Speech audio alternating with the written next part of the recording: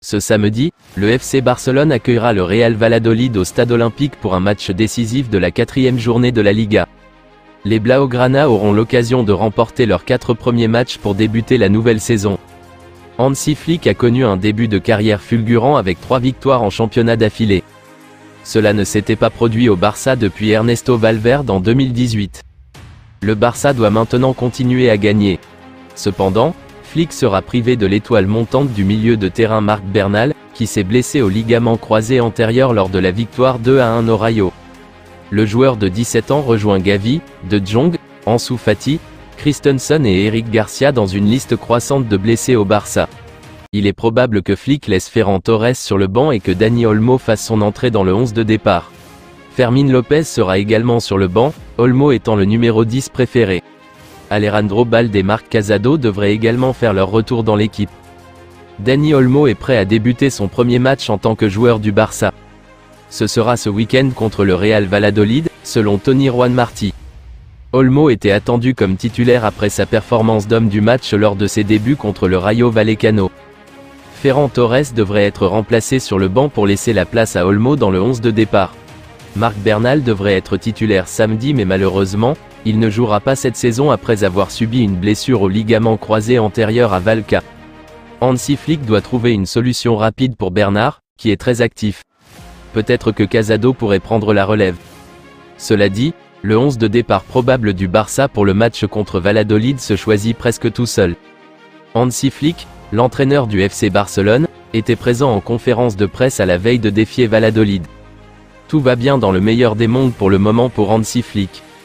Avec trois victoires en autant de matchs, le FC Barcelone compte déjà 4 points d'avance sur le Real Madrid, tenu en échec par Las Palmas hier. Présent en conférence de presse à la veille de retrouver Valladolid, le technicien allemand a annoncé qu'Eric Garcia allait rester.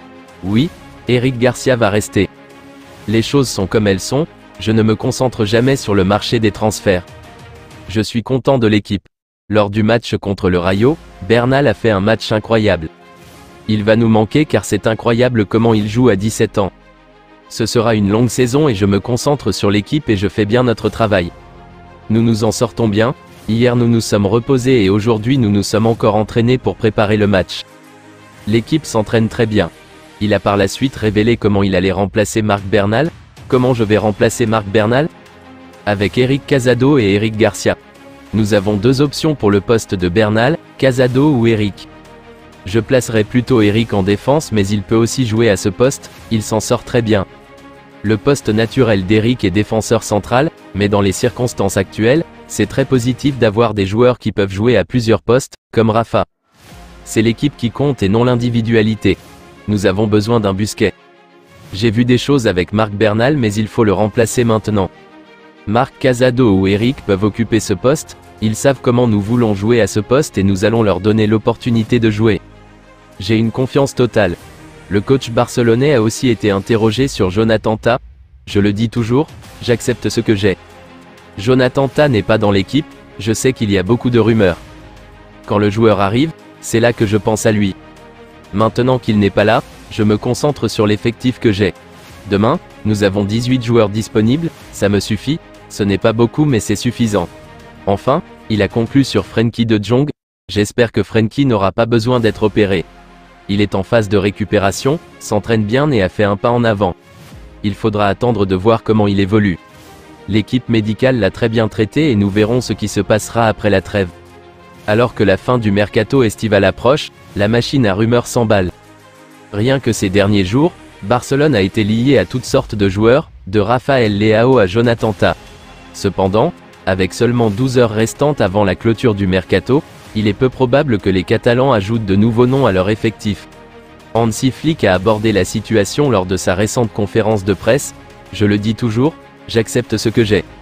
Demain, nous avons 18 joueurs disponibles. Ce n'est pas beaucoup, mais ça me suffit. A-t-il affirmé. Alors que Barcelone a remporté ses trois premiers matchs de début de saison, le Real Madrid n'en a remporté qu'un seul, et a fait match nul les deux autres. Cela signifie que Madrid est déjà à 4 points du Barça dans la course au titre. Mais Hansi Flick, l'entraîneur du Barça, ne se laissera pas distraire par cela. Le Real Madrid en difficulté? Ce n'est pas quelque chose qui me préoccupe. Je préfère parler de notre équipe, a déclaré Flick lors de sa conférence de presse. La saison sera longue, a ajouté Flick. C'est peut-être la bonne attitude à adopter alors qu'il reste 35 matchs à jouer dans une autre saison intimidante. La saison dernière, le Real Madrid est resté en tête du championnat du début à la fin. Cette saison, il doit rattraper Barcelone dès le début. Top 10 de la Liga après 3 matchs.